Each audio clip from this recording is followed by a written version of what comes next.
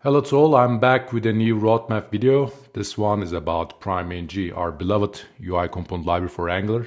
So uh, PrimeNG uh, has been around since uh, 2016. We have been updating it for a long time now and um, after every major Angular release, we are releasing a PrimeNG version that's compatible with it.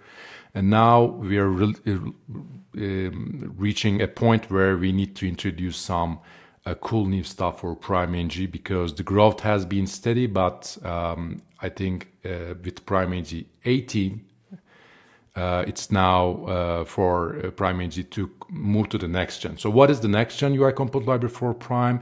It starts with PrimeVue um, version 4 and Prime React Reboot version 1 and the PrimeNG 18. So the, the next gen versions have unstyled modes and they can be styled with Tailwind. They have new theming. Instead of Sass, they are moving to CSS variables. They provide tooling support for Figma and a lot of things. The, some component names are changing and so on. So we've been around for since 2008 as Prime Tech. We've been developing UI component libraries, and this, the part of this success has been about sustainability and keeping uh, the libraries up to date, modernized as, as much as possible so that we can stay relevant. You can create a UI component library, but it may be out of date in a year. So uh, I think the tough part is uh, the toughest part is staying relevant. So, and these are huge code bases. I mean, more than 90 components, a lot of things, templates, blocks. So uh, we are uh, tuning it so that it will be harder, uh, it will be easier to maintain for us because we have a lot of things, a lot of things going on at Prime Tech, a lot of libraries. So Prime PrimeNG uh, is uh, one of the most popular projects so far, gets uh, more than uh, 1 million 1.5 million, more than 1.5 million downloads per month. So, and many enterprises are using it. So we have to introduce these features, these changes without causing a, lot of breaking changes. So, so it will be smooth to upgrade. Let's start. Right now, the team, what we have done so far, we have uh, we have a brand new showcase, as you've seen.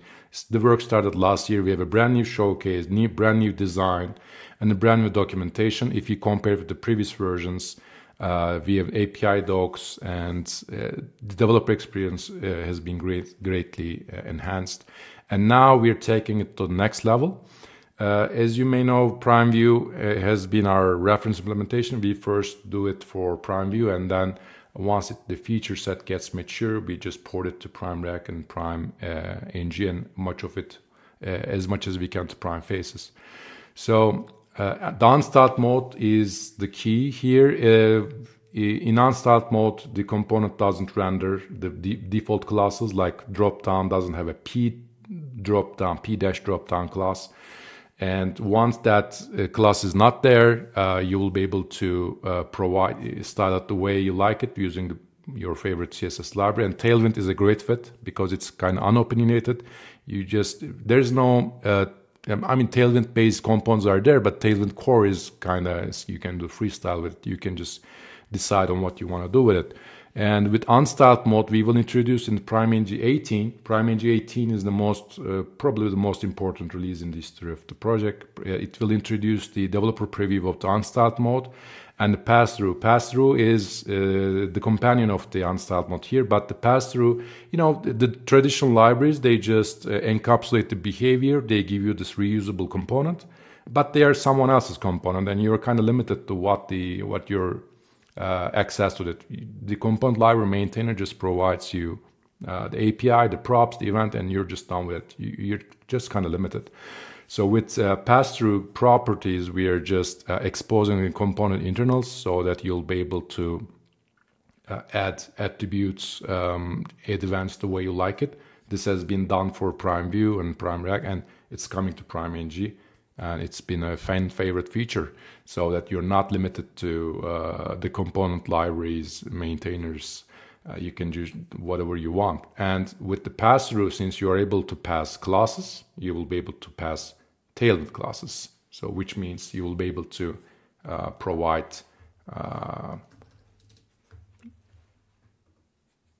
the Tailwind start versions. So we have done this for Prime Vue, and these components are, you know, uh, they, they may look like regular uh, Prime components, but they are styled with presets, so that these are all uh, Prime uh, components styled with Tailwind. So we are actually providing two libraries, one with unstyled mode with the regular uh, CSS approach, and the other is the Tailwind approach. And you will see that he, no one's doing something crazy like this, but uh, I think we have done it, and it has been a success because in the in I mean uh, we've been doing this for a long time, and there's no single approach to this problem. Some users prefer uh, unstyled mode with Tailwind so that they can go freestyle, and some prefer nice pre-built uh, components with nice styles, so they don't really care. They just want uh, some nice looking components. So uh, there's something for everyone. So th- that's I mean, we will not be able to provide it for all components, but in 18 we will be provided as a set, as a developer preview, so commonly made, made commonly used components like tabs, tables, and buttons and inputs, and then we will just extend it to other components as well. So we have to take an iterative approach here. And there will be new components. Some are already in for 17, like uh, we are uh, creating semantic components so that you won't be able to use, I mean, it will be not won't be the best practice using that. For example, in PrimeNG, you are using p uh, float labels class or p icon field something that you have to use that class and you have to know about it uh, when implementing something, um, some features. But now we are wrapping them as components because, as you know, in unstyled mode, those classes do not exist. So we have to provide them as components. And the Tailwind team, our Tailwind team, will be uh, able to implement the same thing without using these pre-built classes like P. There's no P dash class in unstyled mode. So these apply to float label, icon field, and like there will be uh, new properties like uh, field uh, and invalid and things like that.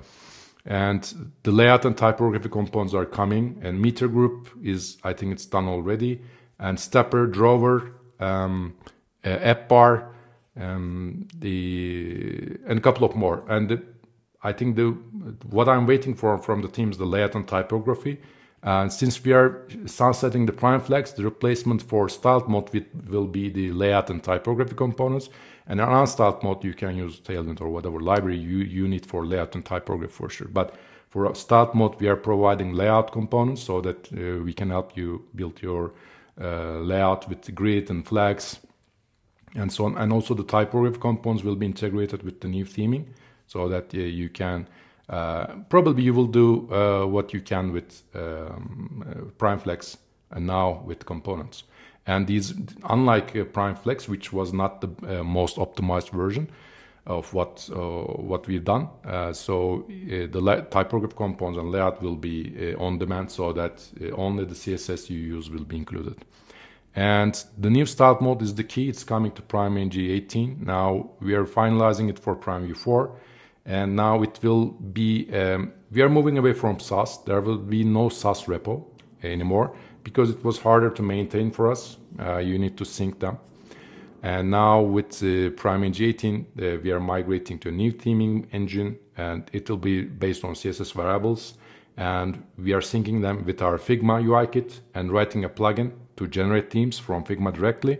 Now, right now I'm working with the design team so that even with the names, because we have to tune some things for Figma as well, and it's coming. And in uh, the future versions, we'll have the RTL mode and the, uh, the, we will also do advanced components now. Prime NG 18 is out.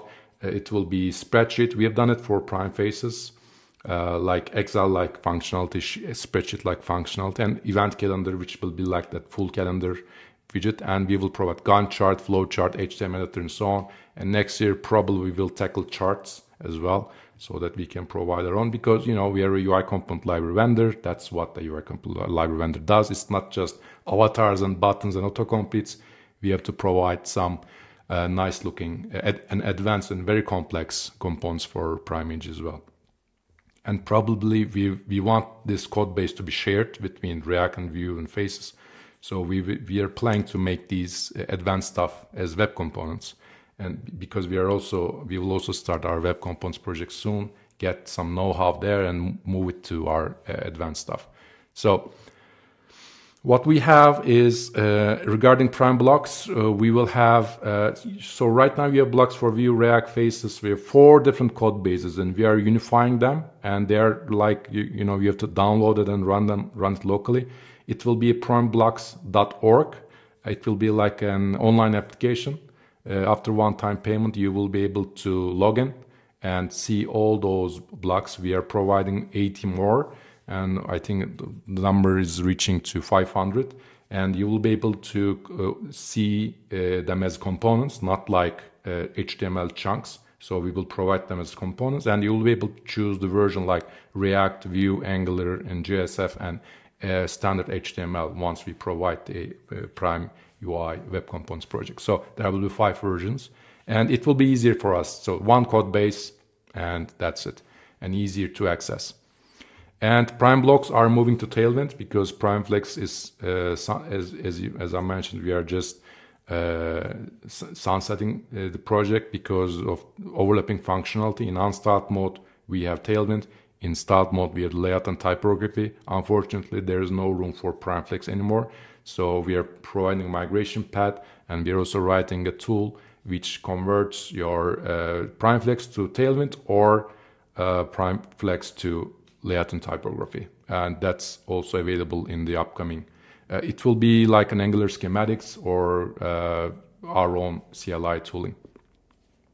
The Aura is out for Prime Vue. It's a nice looking theme. I mean, we have been using Lara for some time, but Aura will be the much better version uh, of um, our theming. So the Aura is coming, and we don't need to wait for PrimeNG 18. It will be available for PrimeNG 17 as well as a Sass version, and uh, we will just port it um, to the new theming as well. I mean, most of these are already done for Vue. We're just going to do porting. And our new theme editor, as you know, we have just uh, shut down. I personally shut down the designer. Sorry for that, but it was not very maintainable. And now we are going to, once the new theming is in, we are going to provide a single uh, theme editor that will help you generate Vue, Angular, and React versions from a single code base. So as I mentioned, all of our work is um, focused on uh, unifying the code bases uh, because we are just we have too much stuff to maintain and we're just we're planning to make it easier. So to summarize, um, the new theme Aura, check out Prime Vue. That's coming. I think it's it will come in the next couple of weeks um, because the team will just port it and the prime blocks are moving online and you will be able to choose whatever uh, framework you like. Figma is getting a huge update with the new design tokens. The most important part, I think, the three, uh, maybe let's say two, the unstyled mode and styled mode, there will be two versions of Prime NG and the styled mode will be based on CSS variables and no more Sass and the unstyled mode will be, will promote uh, uh Tailwind uh, for, uh, and we will provide presets to get you started. And there will be a new um, wave of components, layout typography, drawers, steppers, meter groups, and many more. Uh, so stay tuned for that. Okay, so many plans. We, uh, we believe in Angular, and with uh, with recent Angular renaissance, let's say, uh, it made our jobs uh, developing UI components easier. Uh, still not super easy compared to um, React and Vue, but we, we are able to find our way. We have to write some directives, some our own stuff, which was already provided us from in other frameworks, libraries. But in Angular, we had to do it on our way, but no problem on our end. And so stay tuned for the next generation of Prime NG starting with uh, 18. It's something cool is coming up, which I think the Angular community needs because Angular doesn't have a top-notch UI library even Prime NG 17 is does the job, but uh, I think uh, the 18 will look like uh, much better. In, and compared to React and Vue, the number of and the quality of UI libraries are kind of uh, there are not many options, let's say, because Angular has its own material, which I think doesn't encourage the open source members to develop UI libraries. Because why? Because there's a standard one already. Uh, you, you instantly become a third party, which is not very good but uh, I think we are happy with it. And we'll, we'll see. We will challenge Angular material. Uh, that's the challenge. We, we, everyone needs a challenge, right? Okay, stay tuned and keep an eye on Prime PrimeNG guys. Thank you.